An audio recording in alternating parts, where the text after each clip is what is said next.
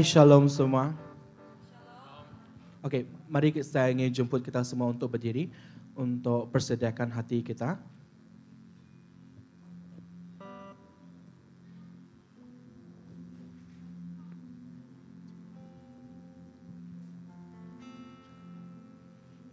Mari kita persediakan hati kita untuk mendengar suara Tuhan pada hari ini dan relaxkan pikiran kita, jangan pikir terlalu banyak dan biar Roh Kudus Tuhan berbicara kepada kita pada pagi ini.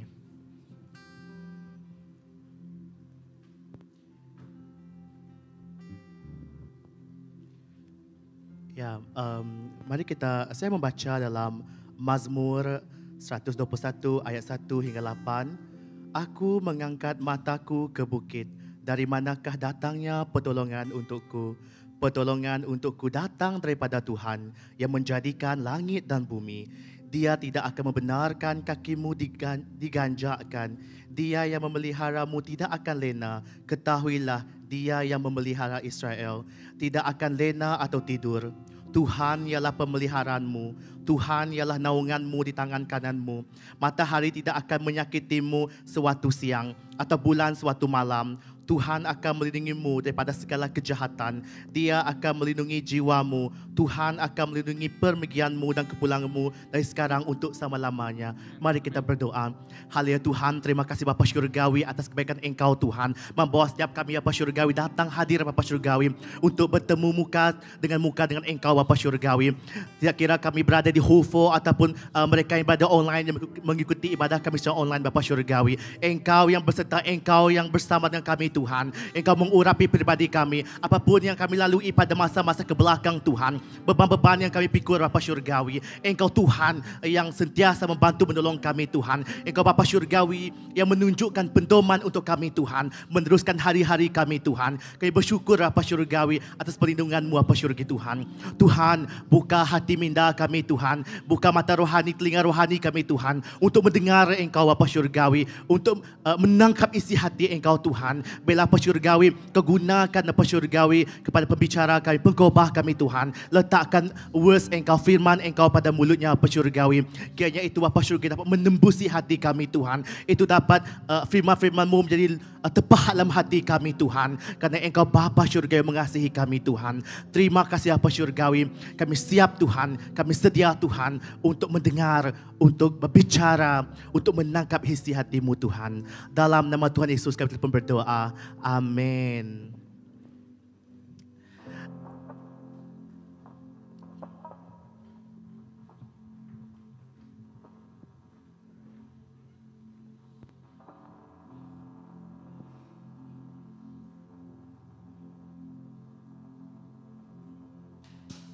Música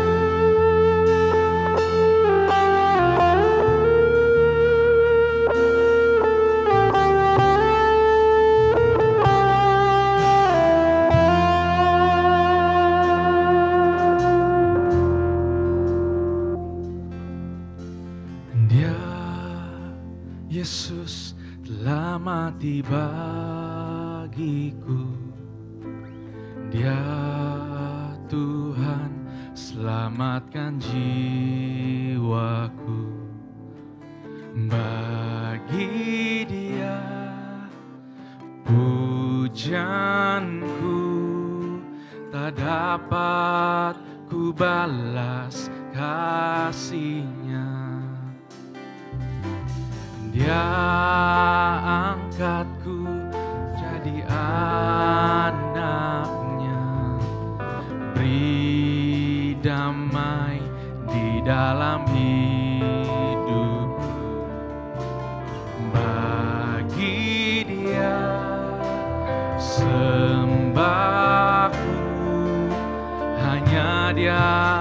segalanya bagi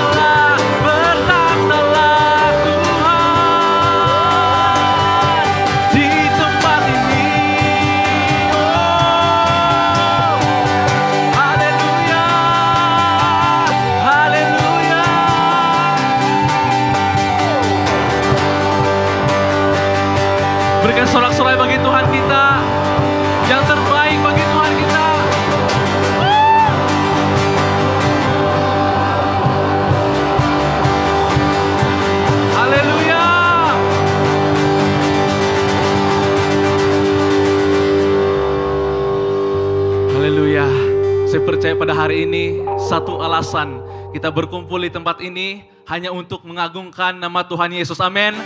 Amin, amin. Berikan kita berikan satu sorak-sorai yang terbaik lagi bagi Tuhan kita.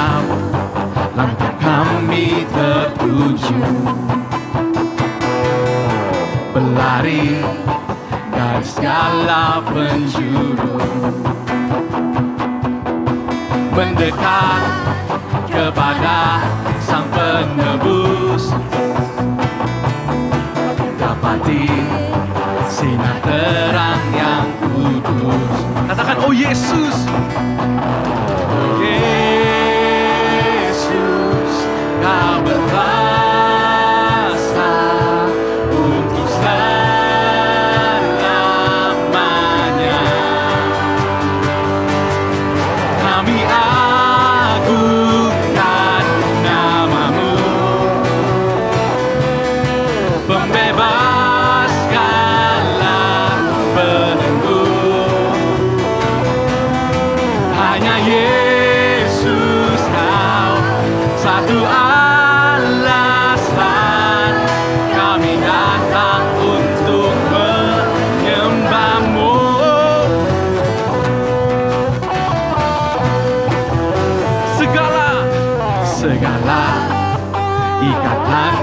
terbuka.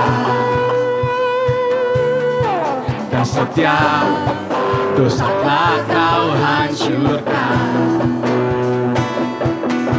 Karena hanya kau sang penebus Dengan cahaya terang. Katakan oh Yesus.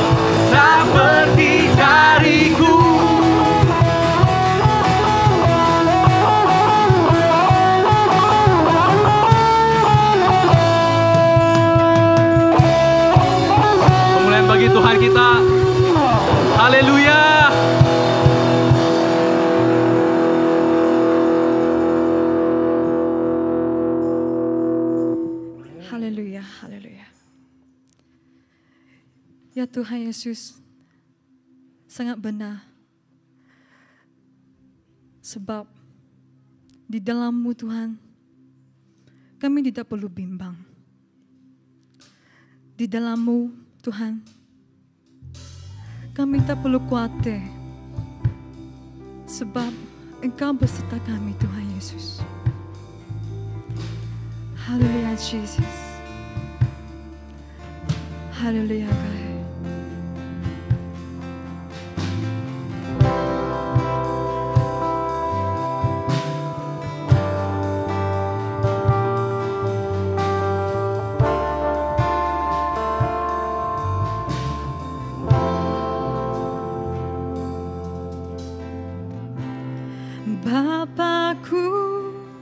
datang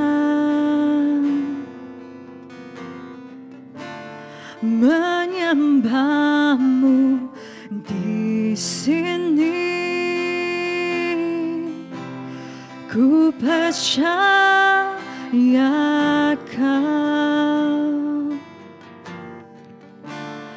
ada bagi.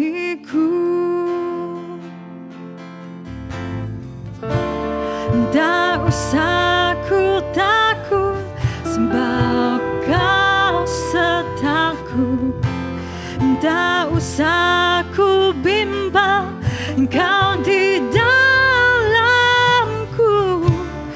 Tak usah ku cemburu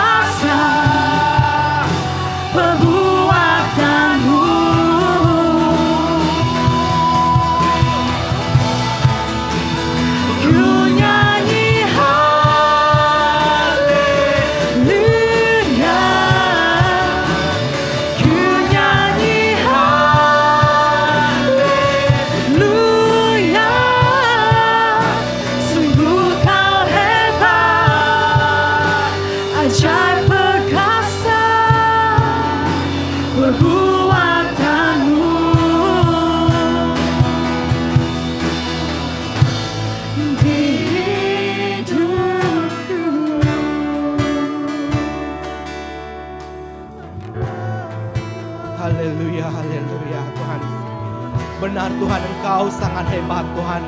Engkau Allah yang perkasa ya Bapa. Oh haleluya.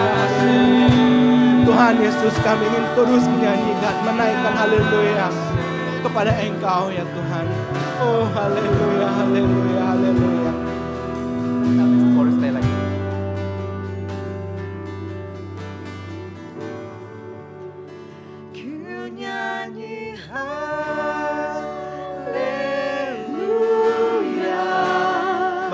Mari kita naikkan suara kita.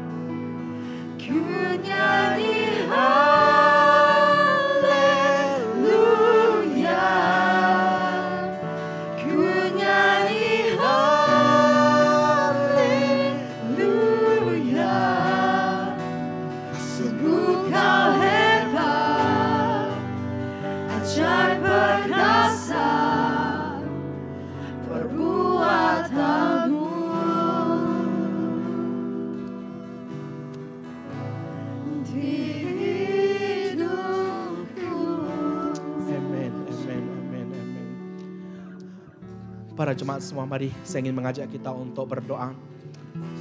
Khusus untuk pelayanan street ministry. Pelayanan di jalanan. Mari kita sama-sama berdoa dan percaya Tuhan akan menangkan setiap pribadi yang melayani di sana ataupun yang dilayani. Haleluya, haleluya. Oh karabaya kurahya darabaya kurahya syakarabaya kurahya layarabaya. Inna karabaya kurahya shandarabaya kurahya layarabaya. Oh haleluya, haleluya, haleluya.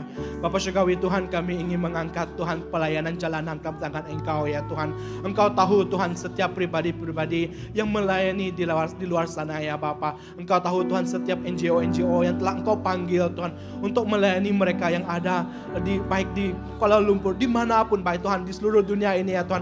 Engkau tahu Tuhan pribadi mereka ya Bapa. Tuhan Yesus kami katakan Tuhan uh, biarlah Roh Kudus Engkau berbicara kepada mereka baik pada NGO yang mulai uh, merasa uh, mungkin mereka mulai merasa tiada harapan Tuhan. Tapi pada saat ini Tuhan kami berdoa Tuhan. Kiranya Engkau, Roh Kudus Engkau akan menyatakan harapan dalam diri mereka ya Tuhan. Kami berdoa Tuhan setiap keperluan para NGO Tuhan baik dari segi sumber keuangan Tuhan. Ataupun dari segi sukarelawan Tuhan. Kami mohon Tuhan kiranya Engkau menggerakkan hati-hati orang di sekitar uh, uh, uh, di sekitar kawasan mereka Tuhan untuk melayani bersama dengan mereka ya Tuhan. Dan Tuhan Yesus kami berdoa Tuhan khusus untuk pekerja-pekerja di ladang Engkau ya Tuhan yang telah Engkau panggil ya Tuhan. Mungkin pada saat ini ya Tuhan mereka ragu-ragu Tuhan untuk melangkah. Mungkin pada saat ini ya Tuhan mereka uh, belum lagi mendengar suara Engkau Tuhan. Kami berdoa pada saat ini ya Tuhan. Kiranya pada hari ini ya Tuhan Engkau akan berbicara kepada individu tersebut Tuhan untuk melangkah dengan berani. Untuk melayani bersama dengan uh, pasukan uh, uh, street ministry ya Tuhan. Dan Tuhan Yesus kami ingin serahkan juga uh, bagi uh, orang-orang yang dilayani oleh kami ya Tuhan. Satu perkara yang kami minta ya Tuhan. uh, saat Engkau menyembuhkan yang buta di jalanan Tuhan. Saat Engkau menyembuhkan yang pesakit kusta Tuhan. Begitu juga yang pesakit mental Tuhan. Kami mohon Tuhan. Kiranya Engkau memberikan karunia-karunia ini kepada setiap anak-anakmu yang melayani di jalanan Tuhan. Dan Tuhan Yesus kami mohon Tuhan bahwa hal-hal ini juga akan terjadi ya Tuhan. Khusus baik di baik di Malaysia Tuhan. Di mana-mana pun Tuhan yang melayani mereka yang ada di jalanannya. Tuhan kami mohon Tuhan kiranya uh, mereka banyak yang akan uh, diberu, diubahkan Tuhan baik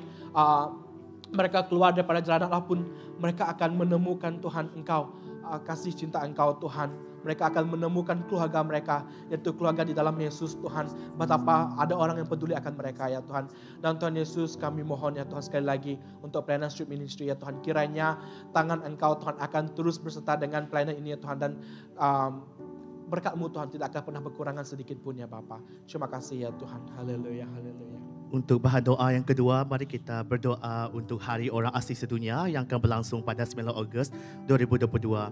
Ya, kita berdoa agar kiranya Tuhan membangkitkan orang asli agar mereka boleh menjadi impak yang dan berkat bagi negara. Dan juga kita berdoa untuk Jabatan Kemajuan Orang Asli agar mereka dapat memainkan peranan mereka dengan benar untuk membangun, untuk membantu orang asli di, di negara kita. Mari kita berdoa. Korea shikira daya naraya hasakara ya toroko ya atara ya sikide ya naraya sikide de de. Ko ya asakara daya nara baba bayar ko soko ya asikida nara kele esekide de de. Era daya sakara daya nara kaya sokor dia atara sikide de.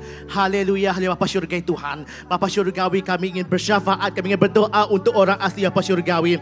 Tuhan, Engkau membangkitkan mereka Tuhan. Engkau membangun mereka Tuhan. Engkau Bapa Syurgawi yang menghapuskan perasaan takut, melenyapkan perasaan gentar. Seperti dalam 1 Yohanes 4.18 Tuhan. Kasih yang sempurna melenyapkan segala perasaan takut. Ini kami isytiharkan Bapa bagi orang asli-asli negara kami Bapa Syurgawi. Engkau bangunkan mereka Tuhan. Engkau bangkitkan mereka Tuhan. Kerana Bapa Syurgawi, mereka tak akan takut dengan ancaman-ancaman Bapa Syurgawi.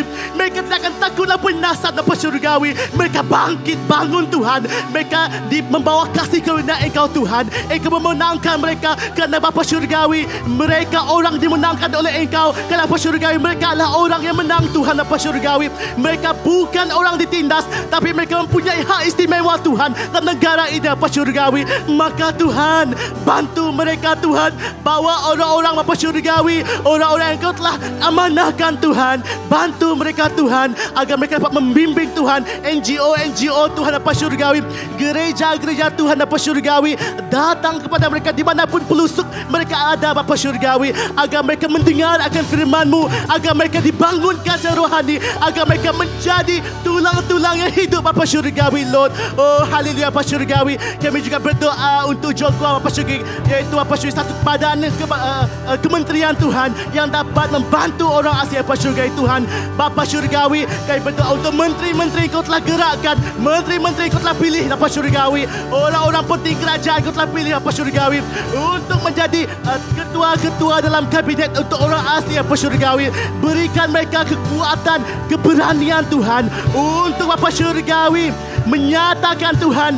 Untuk menyatakan hak-hak orang asli Bapa Syurgawi. Agar mereka Tuhan tidak akan ditindas lagi Bapa Syurgawi. Agar mereka Tuhan seluruh orang asli di pelosok Bapa Syurgawi. Negara ini Bapa Syurgawi. Dapat duduk sama tinggi. Bapa Syurgawi duduk sama rendah berdiri sama tinggi Bapa Syurgawi bersama dengan orang-orang Bapa Syurgawi mereka bukan orang-orang yang dalam uh, pedalaman tapi mereka Bapa Syurgawi orang-orang telah pilih Tuhan Bapa Syurgawi kami percaya Bapa Syurgawi Tuhan.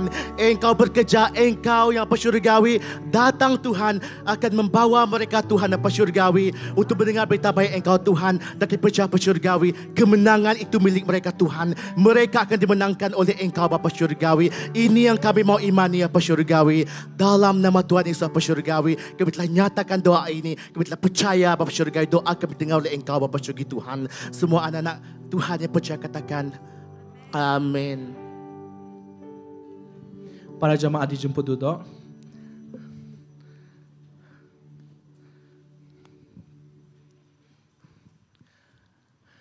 Wow. Terasa bahang dia di atas pentas. Serius terasa sangat wow.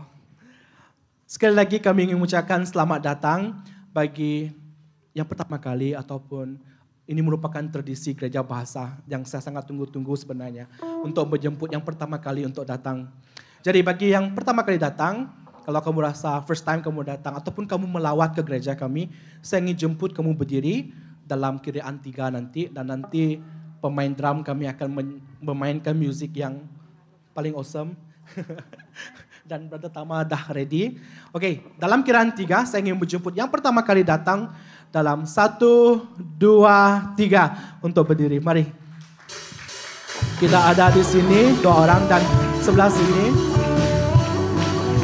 Dan bagi anda yang pertama kali mengikuti ibadah online kami, kami menjemput anda untuk meletakkan emoji angkat tangan di ruangan komen dan saya merayu agar anda mengisi borang tetamu yang dipaparkan di ruangan chat supaya kami dapat berhubung dengan anda. Ya, betul. Sebab um, tim admin kami cakap kepada kami pagi ini dia cakap um, merayu kepada orang online supaya mereka isi borang sebab mereka rindu sebenarnya untuk call mereka even uh, masa off day mereka mereka pun mau call kamu sebab mereka ingin kenal kamu dengan lebih lagi. Jadi bagi yang mengikuti kami secara online pastikan anda isi borang yang di ruang komen dan nanti uh, mungkin saudari Stevie ataupun um, Sis Mira akan kontak kamu akan telepon kamu. Jadi bagi yang pertama kali datang tadi, jangan selepas habis- ibadah, jangan terburu-buru untuk balik sebab tim hospitality kita yang kamu lihat pakai baju oranye, ada logo smiley, mereka sudah prepare tempat yang terbaik untuk kamu. Begitu juga yang lama datang, jangan risau, ada tempat untuk kamu, ada makanan untuk kamu. Jadi kita akan ada fellowship bersama-sama selepas kebaktian nanti. Di sini ada sedikit pengumuman. Yang pertama, dipaparkan di screen, iaitu kita akan mengadakan family camp. Siapa excited? Yeay! okay, family camp ini diadakan pada 25 hingga 27 November, iaitu uh, di MBS Sarawang dan kami menjemput anda semua untuk sign up atau berdaftar. Di sana ada uh, Cik Melissa yang mensedia, sentiasa sedia untuk membantu anda dalam hal-hal pendaftaran untuk camp ini. Dan harga dia uh, untuk yang bekerja dewasa RM80, uh, pelajar ataupun yang tidak bekerja RM60, kanak-kanak bawah 12 tahun RM30 dan kita juga ada package keluarga. Siapa cepat dia dapat kerana package keluarga lah terhad. Okey, yang kedua, ya kita ada Hadasa Homecoming. Siapa Hadasa sini? Yeah, yang menari-nari tadi itulah Hadasa ya. So, kita akan ada satu uh, workshop yang akan diadakan pada 21 hingga 28 Ogos, 4, 11 hingga 18 September tahun ini juga ya 1 PM ya hingga 4 PM. Ah, semua lepas ibadah datang menari kita ya. So komitmen fee dia hanya RM10. Sangat murah. So saya menjemput semua laki, perempuan, budak kecil datang kita menari sama-sama. Amin. Amin. Haleluya. Ya. Itu Wow. saja untuk pengumuman kita. Ya, itu saja pengumuman kita. Jadi sebelum kita pergi untuk camp keluarga, sebelum kita pergi untuk hadasa homecoming, mari kita sediakan uang persembahan kita untuk kita berikan yang terbaik untuk kerajaan untuk Tuhan kita dan akan digunakan pakai untuk pelayanan-pelayanan seterusnya. Mari, sebelum itu mari kita berdoa dulu. Haleluya Bapak syukur Tuhan, kami sangat bersyukur dengan berkat yang telah kau berikan kepada kami ya Tuhan. Sedikit yang kami ada Tuhan, yang terbaik ingin kami berikan untuk kerajaan Engkau ya Tuhan. Kiranya uang ini Tuhan dapat digunakan pakai untuk menjangkau banyak lagi orang-orang di luar sana Tuhan. Bagi yang tidak kesempatan untuk memberi ya Tuhan, kami berdoa kiranya mereka akan mendapat rezeki yang melimpah ya Tuhan. Dan mereka juga akan memberi yang lebih baik Tuhan untuk kerajaan Engkau ya Tuhan. Dan benar seperti mana engkau katakan sesungguhnya engkau mengasihi orang yang memberi dengan sukacita. Dalam nama Yesus kami berdoa. Amin. Jadi jangan sedih semangat kamu masakkan uang. Pastikan kamu senyum dan ketawa. Dan bagi yang online, anda juga boleh memberi dengan menye- scan ataupun um, menaik uh, online transfer uh, kepada akaun domisi yang terpapar dalam skrin anda.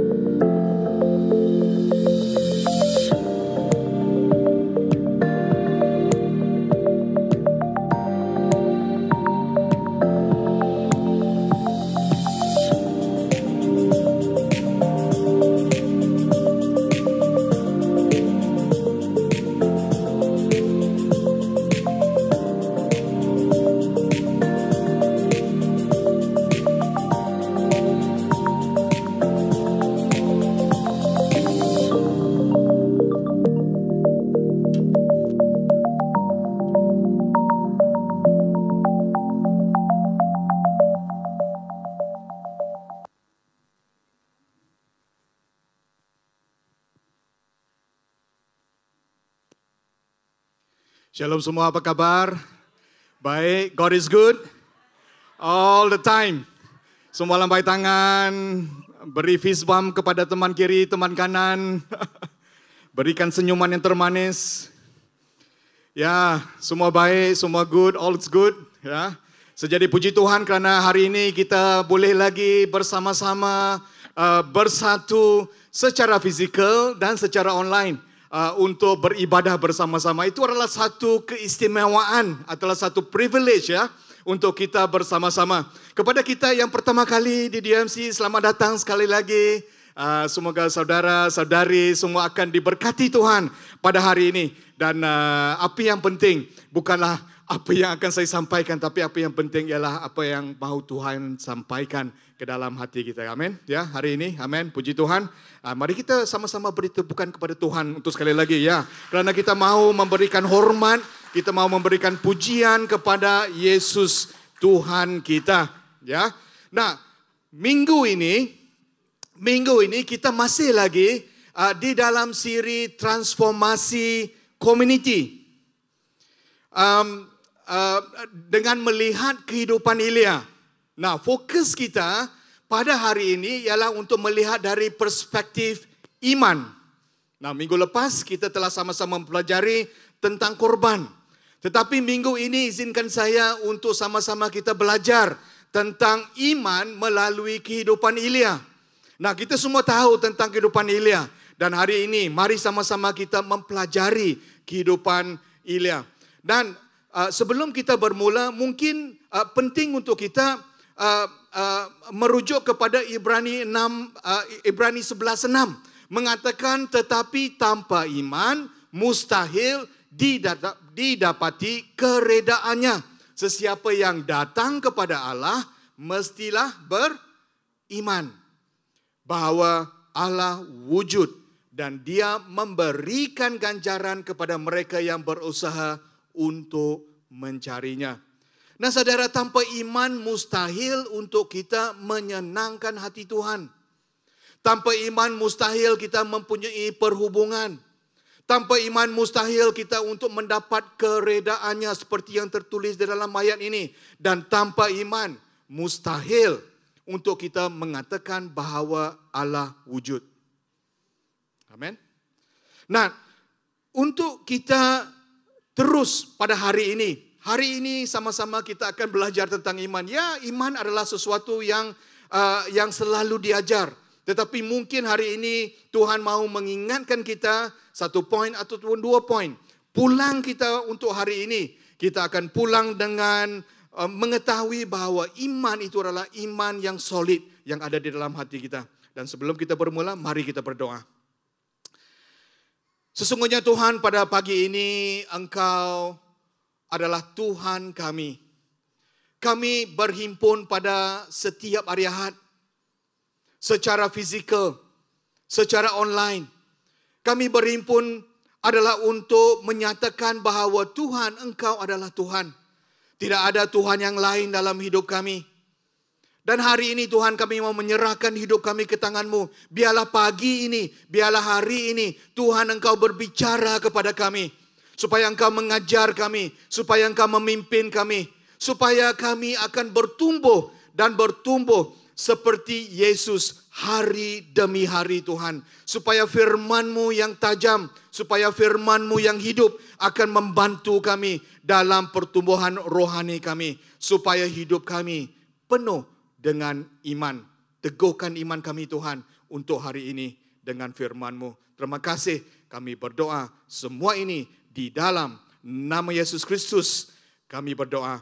Amin. Amin. Amin. Amin. Amin. Puji Tuhan kerana hari ini kita akan belajar bersama-sama tentang Ilya. Dan kita akan baca satu Raja-Raja 18 ayat 32 sampai 35. Tetapi sebelum kita membaca ayat tersebut, konteksnya di sini saudara, ialah Ilya dengan pertolongan Obaja telah mengadakan satu pertumbungan kan di antara Ilya dengan nabi-nabi Baal di Gunung Kamel, ya. Nah, Ahab telah mengirim utusan kepada seluruh orang Israel dan mengumpul nabi-nabi di Gunung Kamel kan, ya. Nah, Ilya pada ketika itu berseorangan. Imagine, fikirkan saudara, Ilya berseorangan. Dia berhadapan dengan 450 orang ataupun 450 nabi-nabi Baal. Dan juga Ilya yang berseorangan berhadapan dengan rakyat-rakyat Israel yang sudah tidak percaya kepada Tuhan. Nah, apa yang berlaku di sana ialah di antara pertemuan ini adakan disediakan dua ekor lembu. Satu lembu diberikan kepada Nabi Baal dan satu lagi diberikan kepada Ilya. Dan lembu jantan itu akan dipotong dan diletakkan di ke atas kayu api yang belum dibakar. Nah, Yang menjawab dengan api dialah Tuhan. Ya, so jadi itu konteksnya. Dan semua rakyat Israel pada ketika itu bersetuju dan bermulalah pertemuan tersebut. Dan yang mulanya nabi-nabi Baal akan berseru dan berseru kepada Baal sampai tengah hari. Dia lagi terus berseru dan berseru. Dan Ilya pada tengah hari mengolok-olokkan mereka. Dan Ilya berkata, panggillah dengan suara yang kuat. Woi, Baal bangun. Mengatakan mungkin Baal sedang berfikir, dia katakan. Mungkin Baal sedang di toilet. Ataupun mungkin Baal sedang uh, dalam perjalanan. Ataupun mungkin Baal sedang tertidur yang harus dibangunkan dan sebagainya. So jadi Ilya mengolok-olokkan uh, dengan berani uh, nabi-nabi Baal. Dan kita tahu nabi-nabi Baal terus dengan seruan mereka kepada Baal dengan suara yang kuat. Lebih daripada itu, mereka menoreh-norehkan badan mereka dengan dengan dengan pedang dan dengan tombak sambil darah bercucuran keluar daripada tubuh mereka. Nah, sampai petang tidak ada suara. Sampai petang tidak ada yang menjawab. Sampai petang tidak ada yang memberikan perhatian, kan? Ya. Nah, kemudian sampai giliran Ilya pula. Sampai giliran Ilya dia memanggil semua rakyat untuk datang lebih dekat. Dan Ilya membaiki mesbah Tuhan. Ha? Minggu lepas kita telah mempelajarinya. Yang telah diruntuhkan dan menggunakan 12 batu. Yang melambangkan uh, suku Bani uh, uh, Yakub, ya, jumlah suku Bani Yakub pada ketika itu. Dan yang seterusnya adalah apa yang akan kita baca minggu ini. Satu Raja-Raja 18, 32 sampai 33. Mari kita baca bersama-sama dengan suara yang lantang. Satu, dua, tiga. Dengan batu-batu itu, dibenanya suatu mezbah demi nama Tuhan dan dibuatnya parit di sekeliling mezbah itu yang dapat memuat benih sebanyak dua sukatan. Diaturnya kayu api, lalu dipotong-potongnya lembu itu dan diletakkannya di atas kayu api. Kemudian dia berkata, isilah empat buah tempayan dengan air lalu curahkan air itu ke atas korban bakaran dan juga kayu api itu. Katanya, buatlah begitu untuk kali kedua. Lalu mereka melakukan hal itu untuk kali keduanya. Katanya lagi, buatlah begitu untuk kali ketiga. Maka mereka melakukannya lagi untuk kali ketiga. Air pun mengalir dari mezbah itu memenuhi parit di sekelilingnya. Saya teringat ada satu orang anak kecil dia bertanya kepada uh, bapaknya. Dia mengatakan, mengapa Ilya menuangkan air ke atas korban bakaran? Dan bapaknya menjawab, sebab Tuhan suka banyak kuah-kuah di dalam makanannya. nah itu adalah joking saja ya. Nah, nah, nah, nah kita lihat di sini. Kita lihat bahwa kita lihat bahwa Ilya mempunyai iman yang luar biasa. Perbuatan Ilya adalah seolah-olah menguji Tuhan. Tetapi sebenarnya Ilya mempamerkan kuasa Tuhan. Amin. Sama juga seperti Yesus. Apabila Yesus membangkitkan Lazarus, dia tidak segera, dia tidak dengan serta merta pergi untuk melawat Lazarus semasa Lazarus sakit tenat. Yesus hanya melawat Lazarus selepas Lazarus mati empat hari kan? Nah, apabila Yesus dibangkitkan, Yesus mengatakan bahawa dia melakukan itu ialah supaya semua orang dapat melihat bahawa dia adalah Tuhan yang percaya kepadanya. Nah, ini yang yang sama yang dilakukan oleh Ilya. Ilya sebelum dia berdoa, Ilya sebelum dia meminta Tuhan untuk uh, untuk membakar korban tersebut mencurahkan air ke atas korban dan ke atas kayu api. Nah, dia mencurahkan bukan dengan satu tempayan, tapi dia mencurahkan dengan empat tempayan. Dia mencurahkan bukan satu kali, tetapi dia mencurahkan tiga kali. Maksudnya ada dua belas tempayan semuanya yang dilakukan ke atas korban. Pada mulanya dia membina mezbah dengan 12 batu yang melambangkan uh, uh, jumlah suku uh, Bani. Dan sekarang dengan airnya 12 tempayan yang dilakukan ke atas korban uh, dengan berani sekali. Nah, pada ketika itu kita tahu, harus tahu bahwa pada ketika itu adalah musim kemarau. Nah, Ilya dengan berani sekali menggunakan seberapa banyak air yang ada pada ketika itu dan ditaburkan. Mengapa Ilya sangat confident sekali? Kerana Ilya tahu Tuhan akan melakukan mujizat. Iman Ilya kepada Tuhan akan melakukan segalanya. Dan kita tahu akhirnya Tuhan melakukan mujizat yang luar biasa.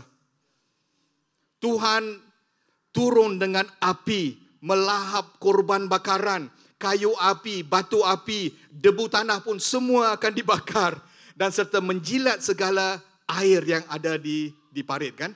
Nah itu yang dicatatkan sebagai sejarah di dalam buku uh, satu raja-raja. Nah, jadi pada hari ini mari sama-sama kita ambil seketika waktu untuk sama-sama belajar uh, apakah iman.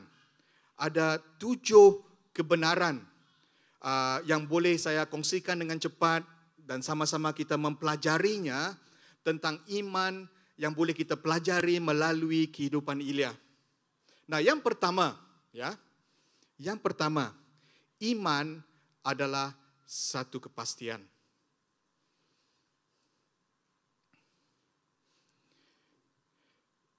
Nah, kita lihat kepada kehidupan Ilya. Nabi Ilya imannya adalah satu kepastian kepada kesetiaan Tuhan. Apa yang dia lakukan itu adalah satu kepastian yang ada di dalam Ilya tentang kesetiaan Tuhan. Apabila dia bernubuat di hadapan Raja Ahab tentang kemarau akan berlaku, imannya adalah kepada Tuhan. Apabila dia pergi ke tepi sungai Keret contohnya, apabila Tuhan menyuruh dan berfirman engkau pergi ke sungai Keret tanpa makanan, Ilya dengan iman melakukannya. Itu adalah satu kepastian yang ada di dalam Ilya tentang kesetiaan Tuhan. Mujizat yang berlaku dengan balu di Sarfat. Itu adalah iman yang ada bersama dengan Ilya yang melipat gandakan segenggam tepung yang ada di dalam tempayan ataupun minyak yang dia ada di dalam apa itu buyung kan? Dilipat gandakan. Apabila Ilya meminta uh, Tuhan untuk membangkitkan anak balu tersebut yang mati dan kemudian dibangkitkan kembali itu adalah kepastian Ilya tentang kesetiaan Tuhan. Dan hari ini kita sama-sama baca apabila Ilya berdoa kepada Tuhan untuk membakar korban bakaran di atas mezbah. Itu adalah kepastian Ilya tentang kesetiaan Tuhan. Sebab itu uh, kita kita membaca di dalam Ibrani 11.1 mengatakan iman adalah kepastian akan perkara-perkara yang diharapkan. Keyakinan akan perkara-perkara yang tidak dilihat. Nah, iman adalah kepastian. Dalam bahasa Inggris, it is a substance of things hoped for. Itu adalah satu kepastian yang sangat benar, yang solid. Dengan dasar iman, kita mempunyai harapan untuk masa hadapan. Ya, paham ya? Ya. So jadi oleh itu harapan yang tidak berdasarkan kepada kepastian kebenaran adalah hanya angan-angan. ataupun wishful thinking di dalam bahasa Inggris. Sebab itu kepastian kita adalah di dalam firman Tuhan. Nah Roma 10.17 mengatakan oleh itu iman datang daripada mendengar perkabaran itu dan perkabaran itu didengar melalui sabda Kristus. Dan apa yang dikatakan ini ialah faith comes from hearing and hearing from the word of God. Ini adalah prinsip yang sangat penting. Dasar iman kita adalah firman Tuhan firman Tuhan. Dasar iman kita adalah teguh di dalam firman Tuhan. Memang di dalam bahasa-bahasa seharian kita akan berkata, ya saya percaya kepada girlfriend saya. Ataupun saya percaya kepada boyfriend saya. Saya percaya kepada dokter saya contohnya. Saya percaya kepada parti politik A dan sebagainya. Tetapi iman adalah lebih daripada kepercayaan saudara-saudari. Iman adalah kepastian kita yang mendalam di dalam hati. Yang kukuh dan solid. Amin. Nah, iman, saya katakan di sini, faith is the assurance of the faithfulness of God. Iman adalah kepastian akan kesetiaan Tuhan. Itulah kita. Kita berpegang kepada Tuhan dengan iman. Kepastian yang mendalam. Nah, yang seterusnya ialah iman adalah di dalam hati. Ini penting saudara. Sebab di dalam uh, uh, uh, di dalam Roma 10-10 ada mengatakan kerana hatimu kamu beriman dan diperbenar dan dengan mulutmu kamu mengaku lalu diselamatkan. Nah, iman adalah di dalam hati. Nah, Alkitab tidak mengatakan iman adalah di dalam fikiran. Iman adalah di dalam hati. So jadi kalau kita beriman kepada Tuhan secara intelek, ya kita tahu tentang Tuhan kan, itu tidak akan mengubahkan hidup kita. Sebab dikatakan di sini dengan hatimu, dengan hati kita, kita beriman dan diperbenarkan. Made righteous. Kita ditransformasikan oleh iman yang ada di dalam hati. Bukan iman yang ada di dalam intelek kita. So jadi hari ini mungkin Tuhan mau mengingatkan kita bahwa iman kita itu berpaut kepada mana? Iman kita itu adalah di dalam hati dan bukan di dalam kepala. Jadi iman bukanlah satu doktrin ya. ataupun satu teologi, tetapi iman itu berkenan dengan apa yang ada di dalam hati kita. Amin. Hari ini ya kita cek iman kita, di manakah iman kita? Apakah kita hanya tahu tentang Tuhan ataupun kita benar-benar beriman di dalam hati kita? Tuhan itu adalah Tuhan yang berkuasa. Tidak ada Tuhan yang lain. Kalau kita menghadapi masalah, Tuhan boleh menyelesaikan masalah kita. Amin. Ya. Nah, apabila kita berkata tentang iman dan harapan, di sini ah, dalam ah, Ibrani 11 ah, Ah, seperti yang saya katakan itu ini Ibrani 11 yang mengatakan iman adalah kepastian akan perkara-perkara yang diharapkan kan. So jadi apabila kita berkata tentang iman Apabila kita berkata tentang iman kita tidak boleh lari daripada berbicara tentang harapan. Iman dan harapan adalah berbeza tetapi berkaitan. nah, Apabila kita berbicara tentang iman, iman adalah yang ada di sekarang ini. Harapan adalah untuk masa hadapan kan, ya. Iman is now, substance yang ada di sekarang ini, harapan adalah untuk yang dia ada harapan.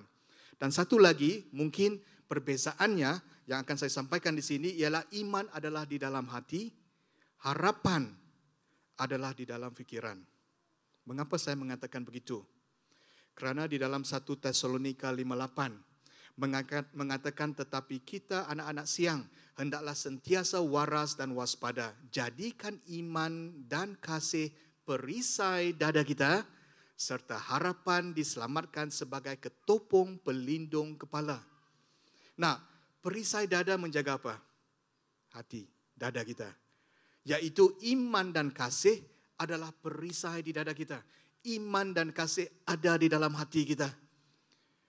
Serta harapan pula adalah ketopong. Ketopong adalah melindungi kepala kita. Ketopong melindungi pikiran kita. Sebab itu harapan adalah penting. Saya tidak mengatakan harapan tidak penting. Saya mengatakan bahwa iman itu berdasarkan di dalam hati kita dan melalui iman kita kita mempunyai harapan di dalam Yesus Kristus. Harapan kita yang ada dalam pikiran kita itu melindungi pikiran kita. Harapan sangat penting karena harapan melindungi kita daripada depresi, harapan melindungi kita daripada tekanan, harapan melindungi kita daripada lemah semangat dan sebagainya, harapan melindungi kita daripada kesedihan dan sebagainya. Tetapi iman adalah di dalam hati. Bermulanya dengan firman Tuhan, daripada firman Tuhan itulah yang ada di dalam hati kita. Amin. Jadi hari ini kita beriman di mana? Di hati. Sakit juga di mana? Di hati. Ya amin. Iman adalah di dalam hati. Itu yang kedua. Dan yang ketiga dengan cepat ialah iman tidak bergantung kepada keadaan. It does not depend on circumstances.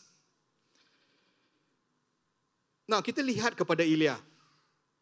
Ilya kan, suasana Ilya pada ketika di Gunung Kamel adalah suasana yang tegang kan, ya. Imagine suasana di mana semua orang melihat Ilya. Ilya adalah kesorangan. Semua ada di sana 450 orang nabi-nabi Baal. Nabi-nabi Baal mungkin pada ketika itu dalam imajinasi saya berpakaian seragam ya contohnya kan 450 orang adalah kumpulan orang dua kali ganda uh, muatan kan uh, ruang ibadah ini. Ruang ibadah ini boleh memuatkan lebih kurang 200 orang dan kalau 450 orang dua kali ganda yang ada di sini dan semuanya berseragam melihat kepada Ilya. Imagine suasana yang sangat tegang pada ketika itu, suasana yang menakutkan uh, pada ketika itu juga ya. Dan dan juga pada masa yang sama Ilya berhadapan dengan rakyat-rakyat Israel. Lebih daripada itu, semuanya melihat kepada Ilya. Berseorangan. Itu situasinya, itu circumstancesnya, itu keadaannya. Dan pada masa yang sama, yang paling menakutkan ialah dia berhadapan dengan Raja Ahab. Karena kalau dia gagal, Ilya akan dibunuh. Itu situasinya, itu keadaannya. Nah, iman yang saya katakan di sini tidak seharusnya bergantung kepada keadaan. Sebab itu, apabila kita melihat kepada Ibrani 11.1 bahagian yang seterusnya, bahagian B, kita sudah belajar bahawa iman adalah satu kepastian. Tetapi iman juga adalah keyakinan akan perkara-perkara yang tidak dilihat. Iman adalah melebihi daripada segala senses kita, segala panca indera kita. Segala apa yang kita lihat, segala apa yang kita bau, segala apa yang kita sentuh, segala apa yang kita dengar, segala apa yang kita rasai, segala perasaan kita, iman itu melebihi semuanya. Amin. Ya. Sebab itu di dalam Korintius, Paulus mengatakan di dalam uh, 2 Korintius 57 uh, ayat yang telah kita tahu ataupun uh, biasanya kita tahu sebabnya uh, kami hidup dengan iman bukan dengan penglihatan. We walk by faith and not by sight. Nah, apabila kita melihat kita tidak perlu percaya kan? Kita hanya perlu beriman apabila kita tidak dapat melihat. Ini maksud saya, kan? Tetapi iman kita kepada siapa? Iman kita itu adalah kepada Tuhan yang ber yang selaras dengan firman Tuhan. Nah, apabila Yesus membangkitkan Lazarus contohnya, kan? Apabila Yesus berkata kepada Marta, Yesus berkata kepada Marta, "Bukankah sudah kukatakan kepadamu kalau kamu percaya, kamu dapat melihat kemuliaan Allah. Mana yang datang dahulu? Kepercayaan. Apabila kita percaya, barulah kita dapat melihat dengan mata rohani kita. Apabila kita beriman, barulah kita boleh melihat. Kita tidak boleh beriman dengan apa yang kita dapat lihat. Kita beriman dengan apa yang kita tidak dapat lihat. Maksudnya, kan? Ya. So jadi hari ini kalau kita ada masalah dengan keluarga kita, ya, semua kita ada masalah dengan keluarga. Hari ini kalau kita ada uh, masalah dengan kerja kita, mungkin ada politik yang tikam menikam dan sebagainya. Mungkin kita ada masalah keuangan saudara-saudari. Mungkin kita ada masalah perhubungan, mungkin kita ada masalah pelajaran. Iman kita ialah kepada Tuhan. Iman kita adalah kepada yang tidak dapat dilihat. Dan yang seterusnya, yang keempat, ialah iman harus diakui. faith must be confessed. Nah, apa yang saya katakan di sini ialah uh, apabila kita melihat Ilya.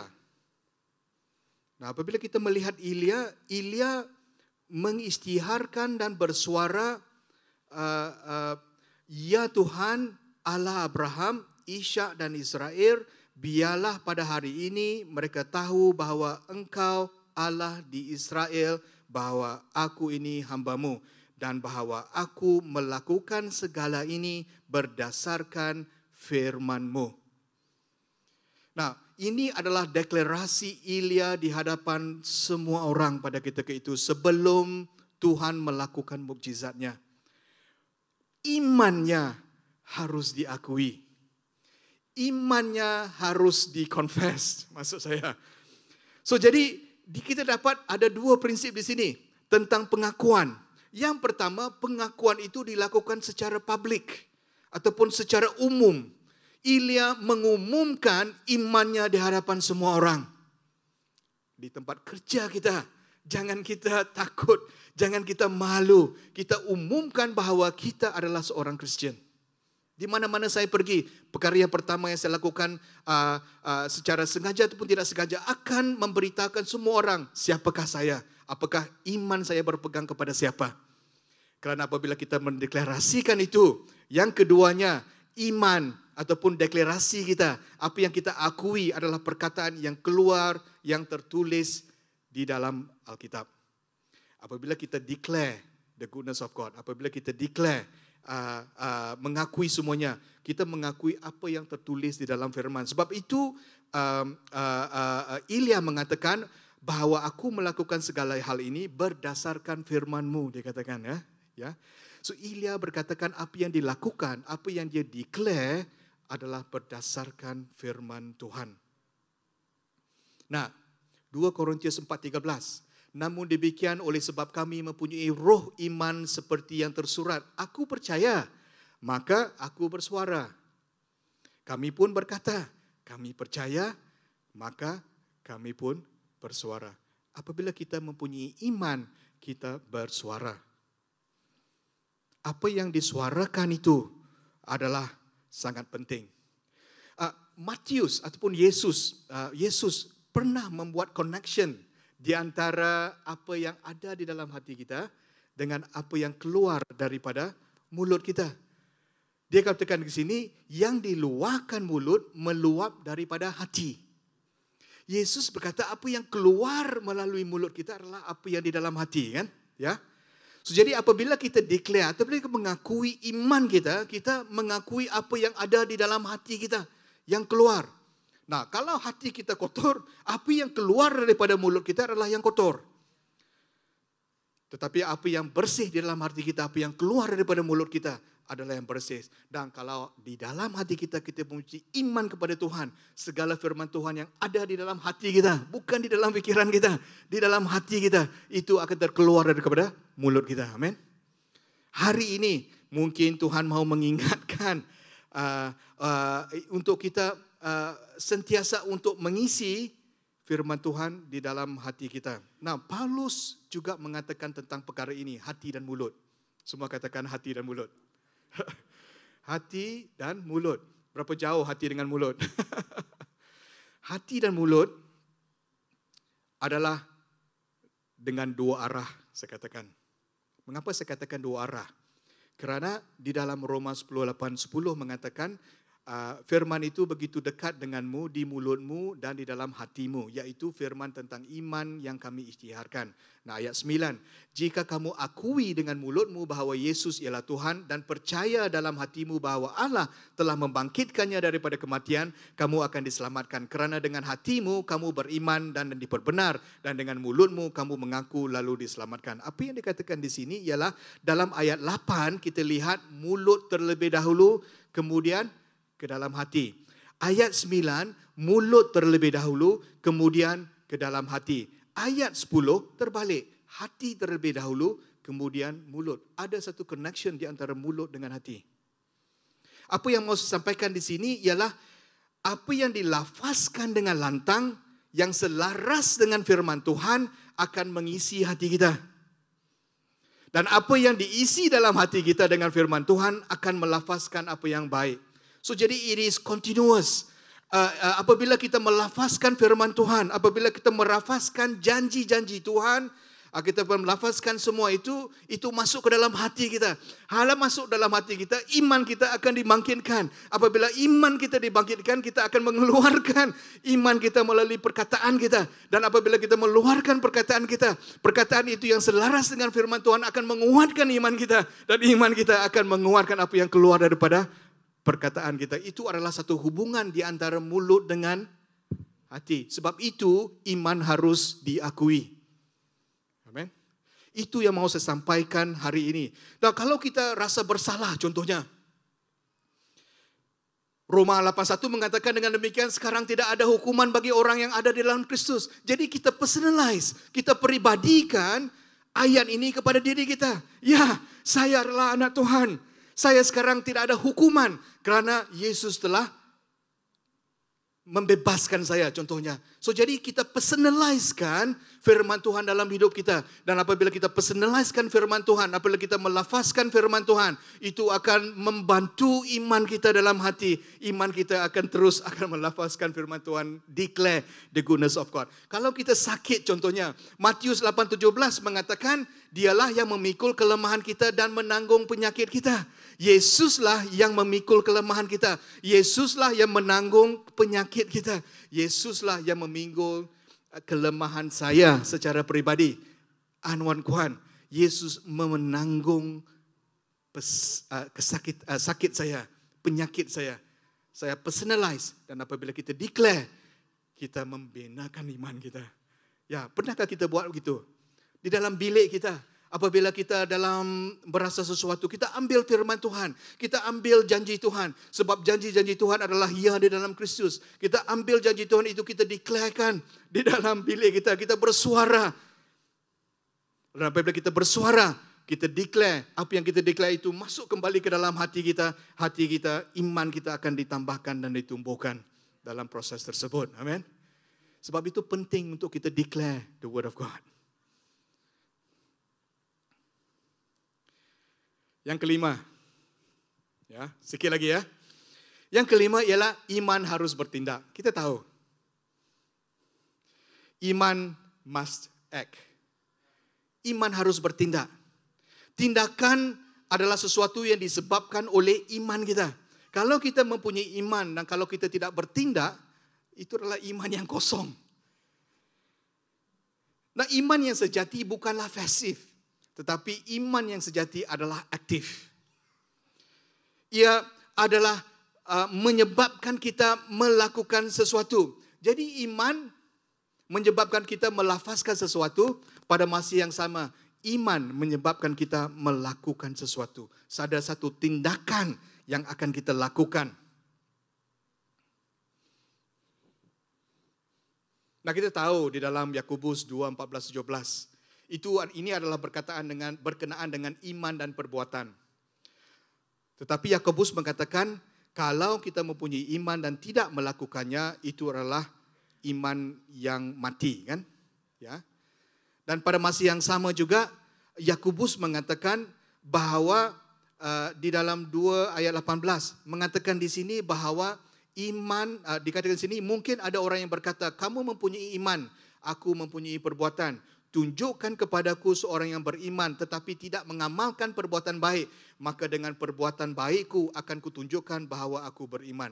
Apa yang dikatakan di sini ialah iman bukanlah satu intellectual journey. Iman adalah yang ada di dalam hati dan di dalam hati adalah sesuatu yang bertindak. Uh, iman bukanlah doktrin. Iman adalah perkataan-perkataan Tuhan yang ada di dalam hati kita yang menyebabkan kita melakukan sesuatu. Sebab itu dia mengatakan di sini bahawa saya akan menunjukkan iman saya dengan perbuatan baik saya. Iman yang ada di dalam kepala kita tidak akan mengubah hidup kita. Iman yang ada di dalam hati yang menyebabkan kita melakukan sesuatu itu adalah iman yang sejati. Hari ini. Mungkin kita mau cek diri kita sendiri. Saya juga cek diri diri saya semalam. Eh, apakah iman saya ini adalah betul-betul di dalam hati saya? Apakah hanya secara intelek? Apakah hanya secara fikiran? Jadi itu yang mau saya sampaikan dan yang seterusnya ialah iman harus diuji. Dan bahagian ini adalah bahagian yang jarang untuk kita lakukan. Banyak orang tidak mau berbicara tentang cabaran. Banyak orang tidak mau uh, berbicara tentang penderitaan. Tidak mau berbicara tentang ujian dan cobaan dan sebagainya. Tetapi iman seperti emas harus diuji. Harus ditulinkan. Barulah iman yang ada dalam hati kita adalah tertulin. Amin. Nah, kita lihat kepada Ilya sekali lagi. Ilya adalah manusia biasa seperti kita. Nah, kita lihat di dalam ayat-ayat di dalam uh, satu raja-raja. Ilya selepas dia berjaya melakukan mujizat Tuhan di Gunung Kamel. Dan pada ketika itu Isabel sangat marah sekali, kan? Isabel dengan marah mengatakan kalau Ilya tidak mati untuk keesokan hari, biarlah Baal menghukum saya. Betul, yes.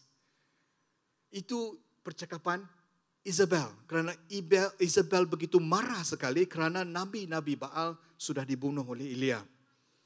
Nah, apakah respon Ilya? Takut. No, pikirkan ya. Ilya telah melihat banyak mujizat Tuhan yang telah dilakukan melaluinya. Daripada awal sekali, daripada nubuatan, daripada pergi ke ke sungai uh, di timur Yordan, kepada uh, kepada balu di Sarfat, kepada membangkitkan anak yang telah mati, kepada uh, pertembungan di Gunung Kamel. Dan sekarang apabila Isabel mengatakan aku mahu membunuhnya, dia merasa takut. Padahal Isabel dan uh, dan Ahab sudah lama mahu membunuhnya. Nah, kita tidak berapa tahu mengapa dia merasa takut. Tetapi Alkitab mengatakan bahawa Ilya adalah manusia biasa seperti kita. Ada masanya kita merasa lemah. Ada masanya iman kita diuji. Tetapi kebaikan Tuhan adalah lebih daripada itu. Tuhan uh, Tuhan pergi dan dan menyegarkan Ilya daripada sana. Ilya disegarkan. Walaupun dari mata manusia Ilya gagal, tetapi Tuhan masih lagi bersama dengan daripada kepulihannya itu uh, kita dapat melihat Ilya bertumbuh dan bertumbuh daripada sana sama seperti uh, Petrus yang menyangkal Yesus tiga kali. Tetapi apabila Yesus me, uh, apabila Petrus diuji tiga kali ya, walaupun gagal, tetapi proses pengujian itu adalah penting. Semua kita harus melaluinya. Ya, yang terbaik ialah kita tetap berpegang kepada firman Tuhan.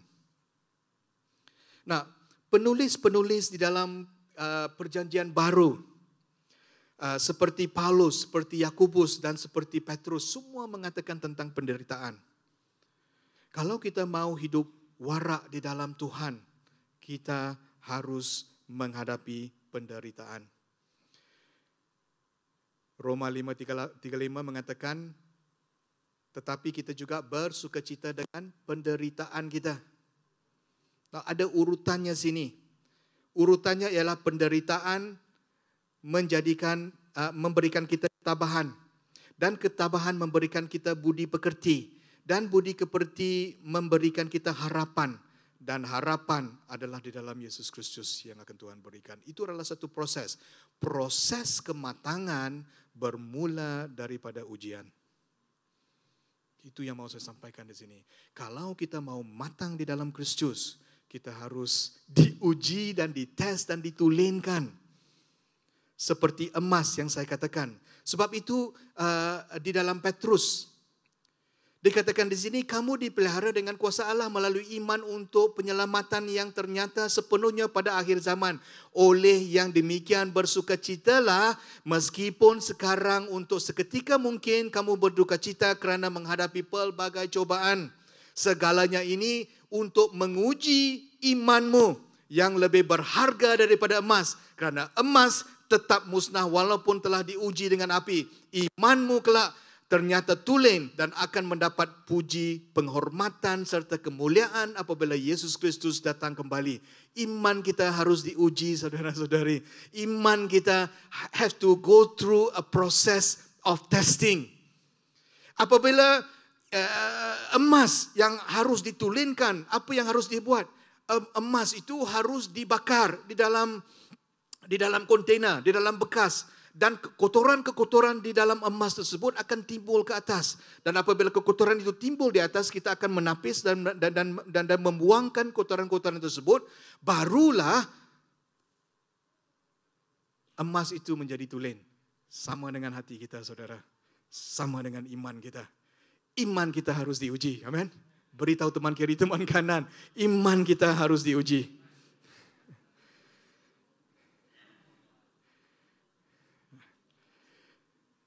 Sampai yang terakhir. Haleluya. Semua kata haleluya. Sampai yang terakhir. Iman adalah melihat dari perspektif Tuhan. Haleluya. Efesus 1:18 sampai 19 mengatakan semoga Allah menerangkan matamu, mata hatimu, mata hatimu untuk mengetahui harapan daripada panggilannya. So jadi kita lihat di sini bahwa iman itu adalah melihat dari perspektif Tuhan.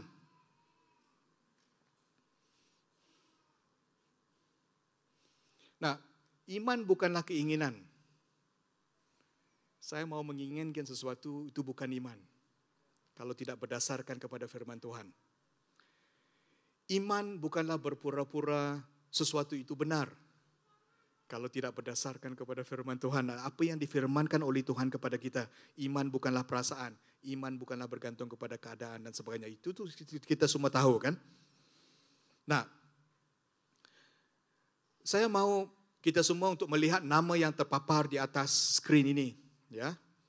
Saya mau secara jujur ya, uh, sama ada kamu kenal nama itu ataupun tidak kenal. Nah, pastor dikecualikan, tidak boleh kah? Ah, hanya kita-kita yang lain, lah, orang-orang biasa kita ya. Uh, uh, pastor tidak layak untuk mengambil bahagian di sini. nah, Syamwa siapa tahu angkat tangan. Safat siapa tahu. Yigal siapa tahu. Palti siapa tahu. Gadiel siapa tahu. Gadi siapa tahu. Amil, Setur, Nabi, Golial, Kaleb ada yang tahu. Yosua ada yang tahu. Nah, ini adalah nama-nama pengintip-pengintip yang diutus oleh Musa masuk ke dalam tanah perjanjian. Ada dua golongan orang di dalam senarai ini. Yang pertama ialah melihat dengan mata ketakutan. Yang kedua ialah melihat dengan mata perspektif Tuhan ataupun mata iman. Apa yang saya katakan di sini, mereka yang beriman adalah mereka yang sedia digunakan oleh Tuhan, ramai orang akan mengenali mereka. Mereka yang takut dan tidak beriman, yang melihat melalui mata fisikal, tidak akan digunakan Tuhan. Malahan mereka tidak boleh masuk ke dalam tanah perjanjian. Tetapi Caleb dan Joshua adalah dua orang yang akan digunakan Tuhan untuk masuk ke dalam tanah perjanjian. Kepada kita saudara-saudari, maukah kita masuk ke dalam tanah perjanjian pada hari ini? Kita mau. Kita mau menjadi Caleb dan Yosua. Kita mau melihat melalui perspektif mata Tuhan. Nah kalau kita melihat dari perspektif ketakutan, kita akan memperbesarkan masalah kita. Kita akan bersungut, kita akan patah semangat, kita akan salahkan Tuhan dan sebagainya. Tetapi kalau kita melihat dengan perspektif Tuhan, kita akan memuliakan Tuhan. Kita akan membuka jalan. Kita akan membuka mujizat-mujizat yang akan berlaku dengan kita. Tapi iman itu di mana? Di hati. Dan daripada hati kita melihat melalui perspektif Tuhan. Saya teringat beberapa tahun yang lalu mungkin saya pernah bercerita tentang ini tentang uh, panggilan saya secara pribadi. Bagaimana Tuhan memanggil saya daripada pekerjaan uh, uh, uh, uh, uh, uh, uh, di, di, di multinational company untuk memulakan satu perniagaan yang sangat kecil. Dan perniagaan yang sangat kecil ini ialah untuk uh, supaya saya mempunyai masa uh, untuk melakukan pelayanan pada masa yang sama. Pada ketika itu saya tidak ada masa untuk melayani. Setiap kali saya uh, uh, uh, travel dari sini ke sana 70 dan 80 persen daripada masa saya adalah di luar negara. Uh, daripada Jepun sampai ke New Zealand dan sebagainya. Itu tidak ada masa untuk saya. Jadi apabila Tuhan saya berdoa dan berpuasa, Tuhan memberikan saya satu gambaran, memberikan saya satu visi dan panggilan untuk menjadi satu tent maker ataupun bivocational minister untuk keluar dan melakukan sesuatu. Dan saya teringat pada ketika itu apabila saya memulakan satu company yang kecil ini, uh, uh, uh, uh, ada syarikat saya yang dahulu. Nah, syarikat saya yang dahulu adalah Agilent, Agilent Technologies. Mungkin kamu tahu, mungkin tidak tahu. Itu adalah syarikat yang sangat besar kan daripada Hewlett Packard. Nah, daripada sana saya adalah seorang managing director pada ketika itu. Uh, sebelum saya quit, sebelum Tuhan memanggil saya untuk memulakan satu yang kecil. Dan apabila saya memulakan satu yang kecil, syarikat saya kecil. Tidak ada banyak orang kecuali saya sendiri. Dan apabila mereka mau melakukan sesuatu, saya harus uh, menghantar satu barang, satu server ataupun satu komputer uh, kepada syarikat tersebut. Dan kerana tidak ada orang lain, saya sendirilah yang menghantar server tersebut dan komputer tersebut. Sampai saya ke pejabat di sana. Apabila saya sampai, saya memegang, saya ingat lagi saya memegang komputer server, komputer HP pada ketika itu. Saya datang, saya pegang dan saya masuk ke dalam receptionist. Di hadapan receptionist, uh, dia panggil uh, orang yang uh, akan menerima barangan yang akan saya sampaikan itu. Dan orang yang menerima barang ataupun server yang akan saya sampaikan itu adalah sekretari saya yang sebelumnya. Wow. Sekretari tersebut melihat dengan mata yang terbuka.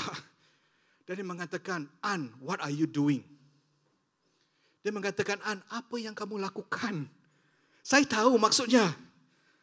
Sebab dulu adalah saya managing director di syarikat tersebut. Sekarang saya adalah delivery boy. Mungkin jadi grab lah pada ketika itu lah. Delivery boy untuk menghantar server komputer tersebut daripada tona perkataannya saya tahu apa maksudnya. Dengan cepat-cepat saya sign tulisan pada masa itu seolah-olah saya mau membuangkan server tersebut ke atas lantai dan terus cabut lari. Itu perasaan saya. Perasaan yang humiliated in a way. Di hadapan you know, sekretari yang sebelum saya itu.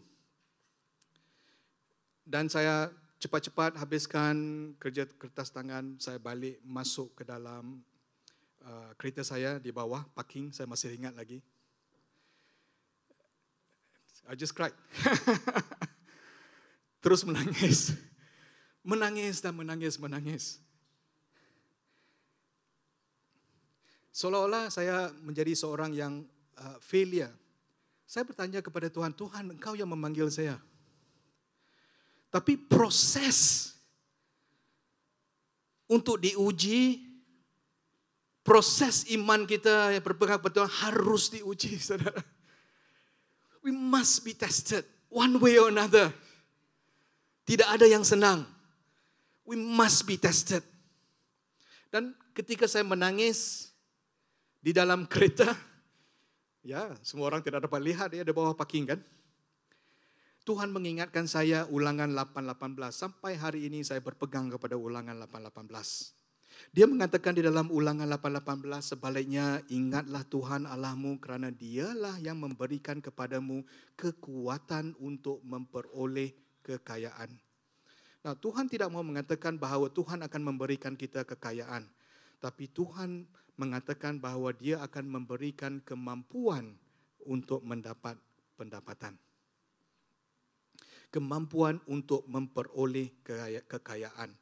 The ability to produce wealth. Dalam bahasa Inggris. Saya menangis.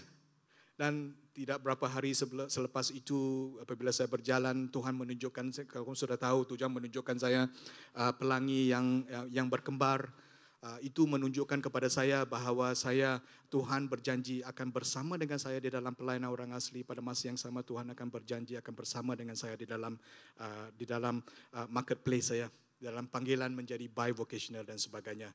Nah, iman adalah satu kepastian. Amin. Iman adalah di dalam hati. Iman tidak bergantung kepada keadaan. Iman harus diakui. Iman harus bertindak. Iman harus diuji. Iman adalah melihat dari perspektif Tuhan. Amin. Nah, sebelum saya akhiri, ada satu cerita juga berkenaan dengan astronot. astronot itu apa? Itu apa itu? Hah? Angkasawan, yes, angkasawan. Wow. angkasawan, ya. Ada dua astronot, ada dua angkasawan. Satu daripada Rusia, satu daripada Amerika. Yang pertama yang di dunia yang berjaya untuk mengelilingi bumi adalah yang daripada Yus, daripada Rusia yang namanya Yuri Gagarin. Ya, siapa ingat kan? Masa di sekolah. Yuri Gagarin adalah astronot ataupun angkasawan yang pertama yang berjaya mengelilingi bumi. Dan dia adalah seorang etis. Dia mengatakan apabila saya mengelilingi bumi, saya mencari-cari Tuhan tetapi tidak dapat melihatnya. Saya lihat di sini, saya lihat di sana, saya tidak menemui Tuhan. Dan semua orang etis menepuk tangan, kata, ya, ya, ya, God does not exist. Tuhan tidak ada. Kemudian seterusnya seorang astronot daripada Amerika. Dia mengelilingi bumi tiga kali, ya, angkasawan. Namanya John Glenn. Dia mengelilingi bumi tiga kali. Dan dia lihat apabila saya melihat bintang-bintang di angkasa, saya melihat hadirat Tuhan ada di sana. Apabila saya melihat kuasa matahari, saya melihat kemuliaan Tuhan. Apabila saya melihat semuanya, saya melihat kemuliaan Tuhan ada berada di mana-mana. Kedua-duanya melihat pada angkasa yang sama, bumi yang sama, matahari yang sama, bintang yang sama. Tetapi melihat dari perspektif mata yang berlainan. Hari ini, apakah pilihan kita? Pilihan kita untuk melihat melalui iman yang ada di dalam hati kita ataupun melihat daripada mata fisikal di dalam mata kita. Amin. Ya. Ya, musicians, can I ask you to come? Ya, terima kasih. Ya. Jadi hari ini, Saudara, Tuhan mahu mengingatkan kita tentang iman. Ya, iman adalah suatu yang kita semua tahu. Dan harapan saya apabila kita pulang, kita dapat menangkap satu ataupun dua poin yang boleh sama-sama kita pegang hari ini untuk uh, beriman kepada Tuhan.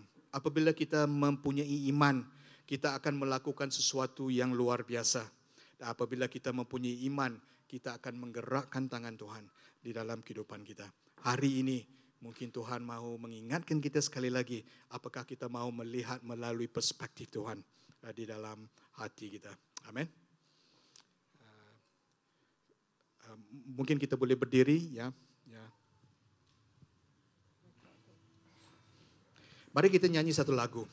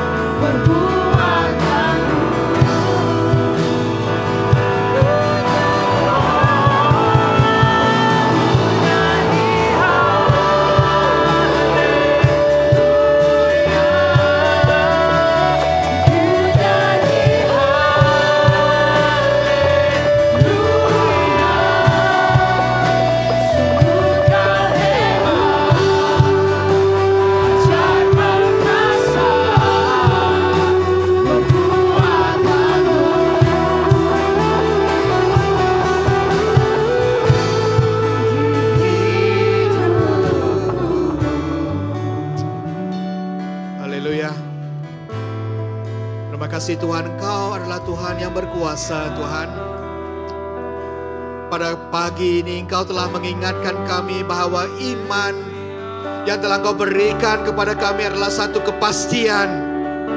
Iman yang Engkau berikan adalah di dalam hati kami. Tuhan hari ini, Tuhan Engkau membantu kami Tuhan. Ada yang kami datang dengan beban, ada yang datang dengan persoalan, ada yang datang dengan cabaran, ada yang datang dengan situasi keuangan. Tuhan, inilah kesempatan untuk Tuhan menolong. Menolong kami di dalam kesusahan kami. Memberikan kami iman yang fresh. Iman yang baru. Iman yang segar di dalam hati kami. Kuatkan kami Tuhan. Haleluya. Kami serahkan kegagalan kami ke tanganmu supaya engkau akan menjadikannya satu kejayaan. Kepahitan kami engkau jadikannya satu kesegaran. Kebencian kami menjadikan kami satu sukacita di dalam hati kami. Batu halangan akan menjadi batu loncatan untuk kami Tuhan. Terima kasih Tuhan hari ini Tuhan. Datanglah dalam kehidupan kami.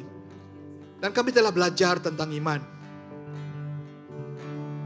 Firman-Mu telah mengatakan apa itu iman. Dan biarlah kami pulang dengan iman yang sejati dan iman yang tulen yang ada di dalam hati kami. Biarlah hati kami menerima semuanya itu. Biarlah benih firman-Mu bertumbuh dan bertumbuh. Jadikan kami seorang yang akan menjadi lebih seperti Kristus hari demi hari iman kami bertumbuh hari demi hari. Terima kasih Tuhan. Biarlah segala kebaikan Tuhan dalam kehidupan kami, kerjaya kami, bisnis kami, pelayanan kami, keluarga kami, perkawinan kami, apa yang kami lakukan, semuanya itu Tuhan yang punya. Segala yang kami lakukan, iman kami tidak bergantung kepada segala yang kami ada iman kami bergantung kepada hanya satu, yaitu Tuhan sendiri di dalam hati kami. Terima kasih Tuhan. Kami serahkan semua kami, semua kami yang ada di dalam ibadah hari ini ke tanganmu. Haleluya. Nah, mari kita semua angkat tangan. Kita pulang untuk menerima berkat. Tuhan memberkati engkau dan melindungi engkau. Tuhan menyinari engkau dengan wajahnya dan memberi engkau kasih karunia. Tuhan menghadapkan wajahnya kepadamu dan memberi engkau damai sejahtera. Di dalam nama Bapa, Anak, dan Roh Kudus kepada kita semua yang telah diberkati Tuhan dan percaya bahwa firman Tuhan akan menjadi iman di dalam hati kita. Sama-sama kita katakan amin, amin, amin, amin. Puji Tuhan. Haleluya. Ibadah sudah selesai, tetapi kepada kita yang memerlukan doa, uh, leader akan datang di hadapan untuk kita mendoakan untuk satu sama lain. Kita boleh datang di hadapan untuk didoakan, ya, ya, ya. Jangan lepas peluang ini, ya, ya.